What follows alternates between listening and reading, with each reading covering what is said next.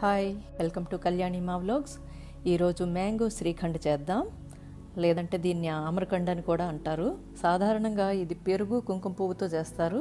కానీ ఇప్పుడు మామిడి పళ్ళు సీజన్ కదా. ఇది ఐస్ క్రీమ్ కంటే చాలా రుచిగా ఉంటుంది. ఇది మనం ఇంట్లోనే చేస్తాం కాబట్టి ఏ కెమికల్స్ ఉండవు. పిల్లలకి చక్కగా ఆ ఐస్ క్రీమ్లు మానేసి ఇలాంటివి తయారు చేసి ఇవ్వండి. మంచి ఆరోగ్యం కూడా.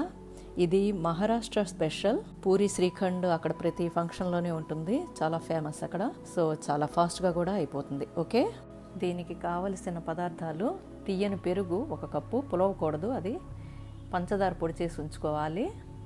ఇంకా డ్రై నట్స్ జీడిపప్పు పిస్తా బాదం ఏముంటే అవి ముక్కలు చేసి ఉంచుకోవాలి. కొంచెం కుంకుమ పువ్వు ఆప్షనల్.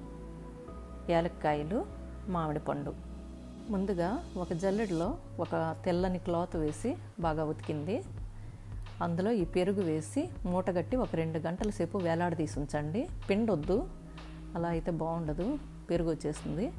ఇది తీయని పెరుగు అని ఎందుకన్నామంటే మళ్ళీ రెండు గంటలు ఉంచేసరికి ఇది పులిసిపోతుంది కదా అందుకని తీయని పెరుగు అయితేనే బాగుంటుంది దీనికి.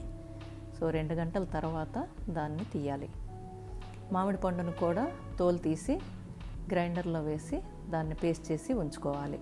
ఇప్పుడు పెరుగుని మూటలో నుంచి తీసి ఒక బౌల్లో వేసుకోవాలి. ఈ రకంగా వచ్చింది. నీరంతా పోయి ఇలా ఉన్నా సరిపోతుంది. ఎక్కువ నీరు లేకుండా చూసుకోండి. ఇప్పుడు స్పూన్తో బాగా కలపాలి. ఇది ఎంత బాగా కలిపితే అంత టేస్టీగా ఉంటుంది. ఇప్పుడు పంచదార పొడి తగినంత వేసుకోండి. ముందుగా ఎక్కువ వేసేయకండి. ఎందుకంటే మామిడి పండులో కూడా తీపి ఉంటుంది కదా. కావాలంటే తర్వాత వేసుకోవచ్చు. యాలక్కాయ పొడి అది కూడా వేసి బాగా కలపండి. ఇది ఐస్ క్రీమ్లా ఉంటుంది. సో దీంట్లో ఇప్పుడు నట్స్ మామిడి పండు గుజ్జు తగినంత వేసుకోండి. ఎక్కువ వేయకండి. దా తర్వాత ఇలా విస్కర్తోని కలపండి. కవ్వం లాంటిది ఏదైనా ఉంటే దాంతో కలపండి. అలా అయితే క్రీమీగా స్మూత్గా వస్తుంది. ఎంత బాగా ఎంత స్మూత్గా కలిపితే అంత టేస్టీగా ఉంటుంది. సో ఈ రకంగా వచ్చింది కదా ఐస్ క్రీమ్ లాగా. ఇది ఐస్ క్రీమ్ కంటే బాగుంటుంది. సో ఒక బౌల్లో వేసుకొని చూసారా? ఈ కన్సిస్టెన్సీ ఉండాలి. ఇది పూరితో కూడా తినొచ్చు ఊరికి కూడా అలా తినేయచ్చు. ఇప్పుడు నట్స్ ఉంటే కుంకుమ పువ్వు వేయండి లేకపోయినా పర్వాలేదు.